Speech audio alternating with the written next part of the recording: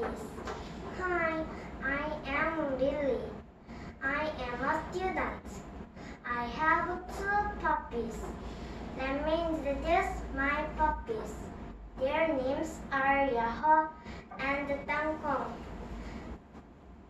I have Yahoo for a year and I have Tankong for a month as a family. Yahoo is years old and it is Maltese. Tangkong is one year old and it is Poodle. Yahoo is a white puppy and Tangkong is a black puppy. Yahoo and Tangkong enjoy playing with a ball and running. They like to take a walk too.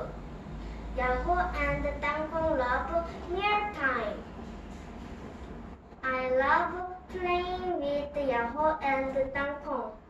I hope Yahoo and Tangkong stay happy with me for a long time. I love Yahoo and Tangkong.